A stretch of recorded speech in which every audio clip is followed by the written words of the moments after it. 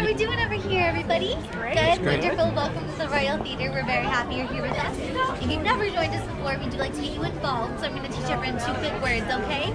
Your first word is huzzah, and we say this when good things happen, so we'll raise our arms and say huzzah. Try it with me. One, two, three. Huzzah! Perfect. Okay, your second word is bye. We yell this at Gaston, our villain. So shake your fists and yell bye. One, two, three. Bye. okay, last but not least, you are more than welcome to take some portraits. Just please make sure that flash is off for our safety. And there will be a sing along, so please be our guest. Sing along with us. Have fun, everybody. Thank you. Did you get that, Bobby? I don't want to see you mess up. Not at all. Bye. Bye to the cameraman.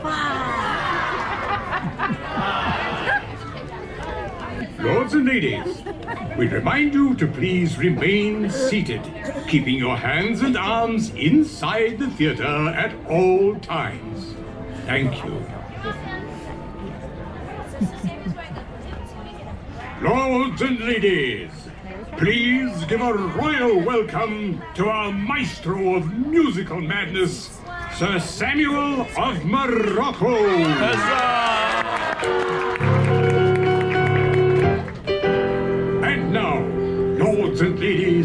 good gentles all, please welcome those loquacious lovers of legends and lore. Those versatile viscounts of voluminous verbosity as they portray a panoply of personalities under this preeminent proscenium. Please welcome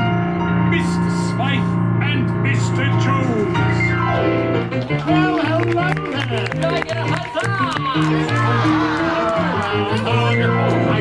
Smythe. And I'm Mr. Jones. And how is each and everybody doing today? Welcome to the theater, the famous Royal Theater. And while we're in the theater, I say let's do a play.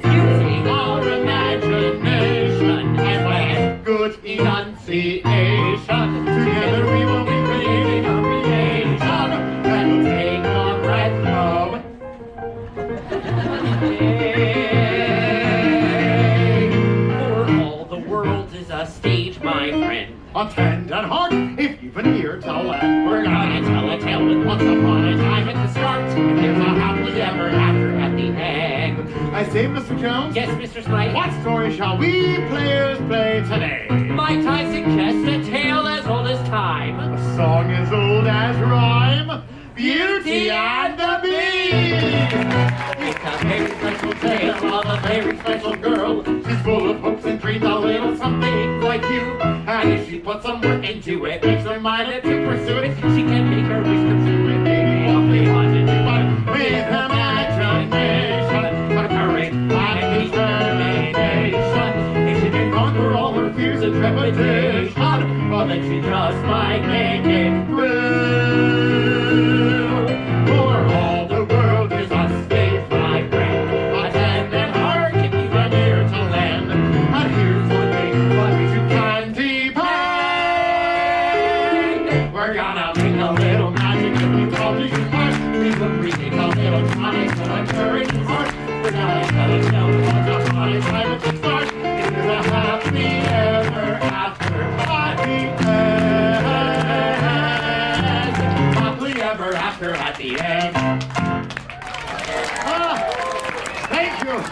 Thank you very much. Merci, merci Oh, beaucoup. no. Je Wait a suis minute. enchanté. Take a minute. What are you doing? Je parle français. You're speaking French? Oui. Why are you speaking French? Well, since our story begins in a small provincial town in France, I thought it'd be a good idea to, you know, sexy me. Ah, Sit to me. Oui. And how long have you been speaking French? Well, what time is it now? That's what I thought. Actually, it's time for you to introduce our royal visitor. It is? We. Madame et Monsieur, it is with the most proud and greatest pleasure that we welcome you today. And now we invite you to give a warm welcome to our royal guest, the one, The only. the one and only, Mademoiselle Belle.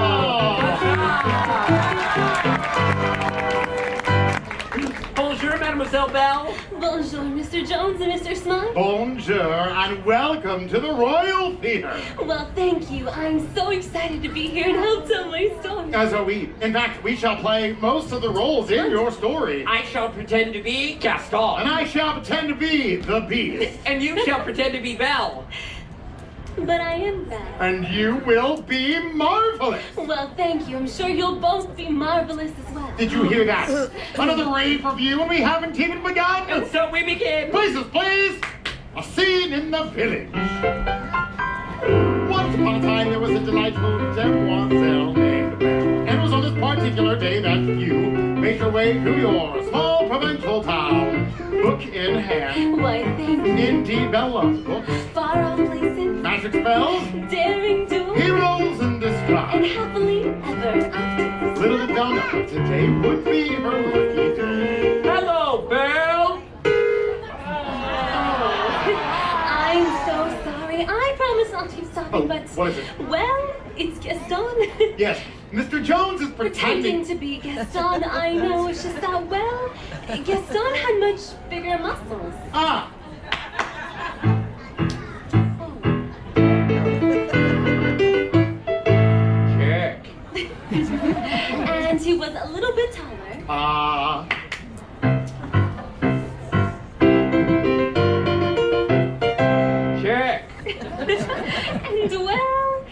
he wasn't very bright. Check! All right, let's take it back to my line. Little did Belle know that today would be her lucky day. Hello, Belle. Hello, Gaston. I'll bet you didn't know that today would be your uh, lucky day. Oh, book fairs in town. No. Jean-Marie Le Prince Dave Beaumont is here for the book signing. Uh, no. I know. Free turkey legs for everyone! Huzzah! No! Today's the day that Belle's dreams come true. And what do you know about my dreams, Gaston? Well, I actually Gaston knew nothing about Belle's dreams. All he really knew was. I'm the most eligible bachelor in the village. I'm strong. I'm handsome. I'm derriere. Debonair. Exactly. I make all the ladies swoon. Not all the ladies. Yes, there was one exception. Boom! You're the most beautiful girl in the village, which makes you the best. And don't I deserve the best? Belle was this close to getting away when. Well, say you'll marry me. Oh, I'm sorry, Gaston. I just don't deserve you. Well, she's right about that. Wait a minute, was that a yes? Ah, no. But not to worry, there are plenty of fish in the sea. Matter of fact, I know a lovely young lady. Redhead, nice set of fins. No mistake about that. Oh, fine. Hey! Belle returned home only to find that her father was missing. My father's missing. I must go find him. Picture, if you will, a young lady embarking on a nocturnal quest. Fleeing in fright through the forest, she comes upon a dark and mysterious castle. Little does she know, she's about to enter the beastly zone.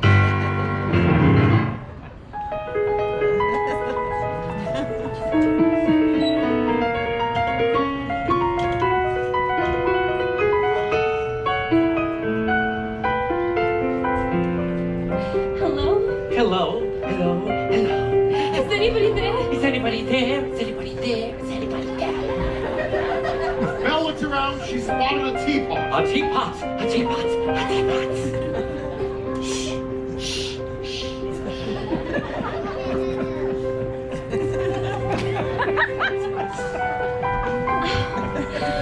A charming teapot. Short, stout.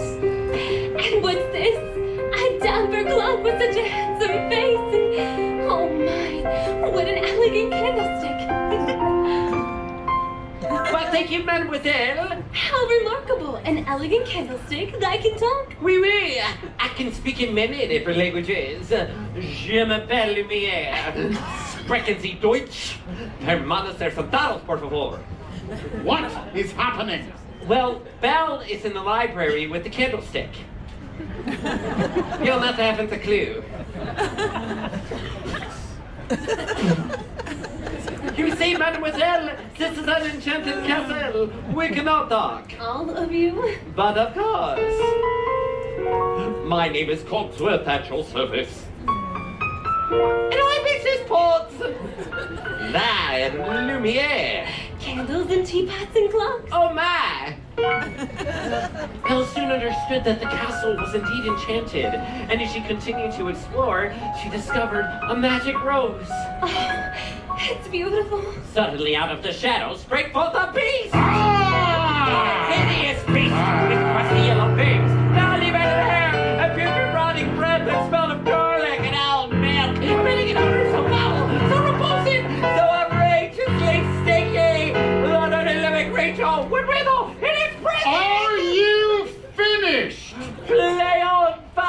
Foul creature! Ah, oh, what are you doing here? I was only. Realize what you could have I done? didn't mean any harm. Get out. Where's my father? Get out!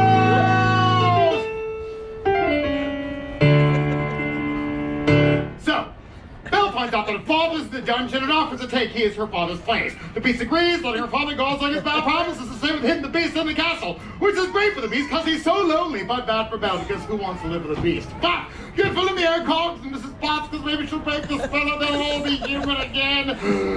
Huzzah!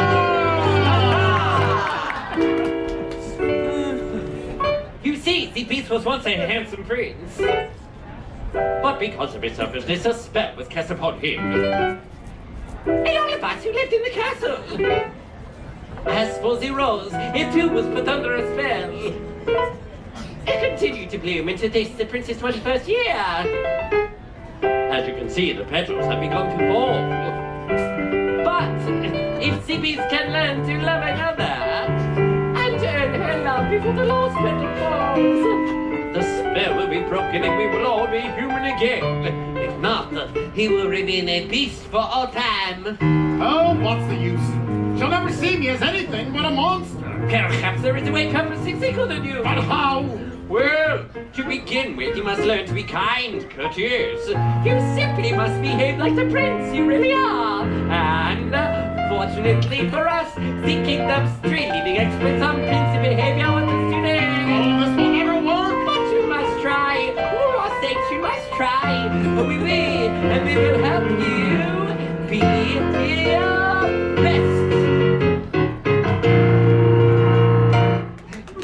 no- oh, I thank you, thank you very much. Lesson number one, the royal bow. Place your left foot behind your right, slide your right foot forward, put your left hand in, put your right hand out, and you do the hokey pokey, and you turn yourself around. How is that's what it's all about. Lesson number two, is the royal dance. So send me here some royal dancing music, see if we play. Alright, put your arms up like this, and follow me. And we sway, and we sway, and we on the one, try, try, try. One, two, three, ah, so land on your feet. Oh,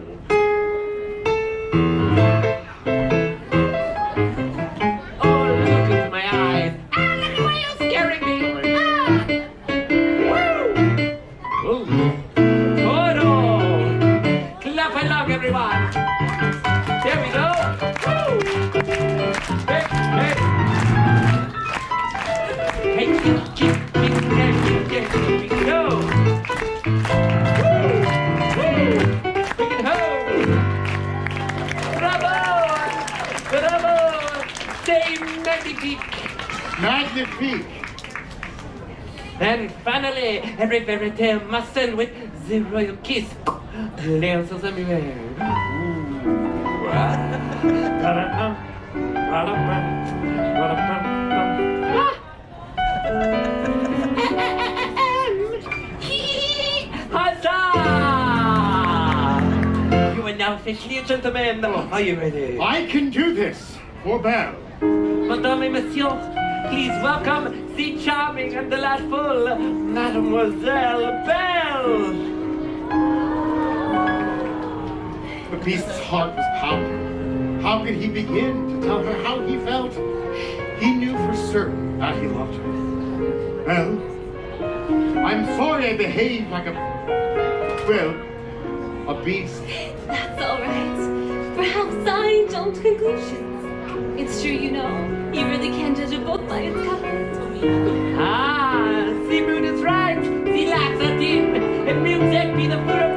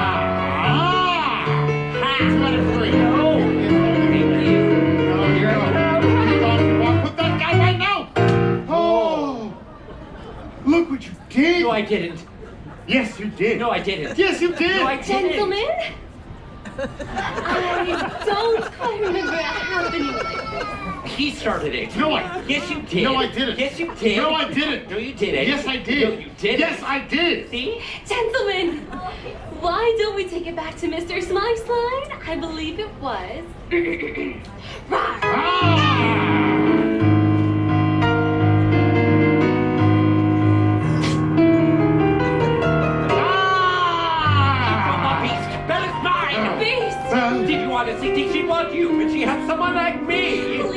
Don't give up. Let me go. Let me go. Please don't hurt me. I'll do anything. Get out. And don't ever come back. Well. look out! Oh,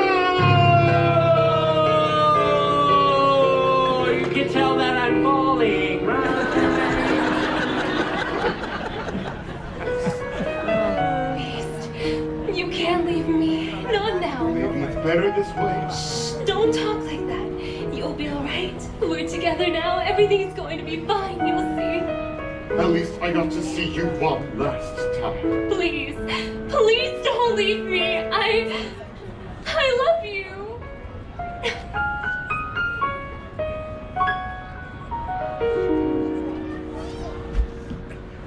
As the last petal fell from the rose, it seemed that the spell would never be broken.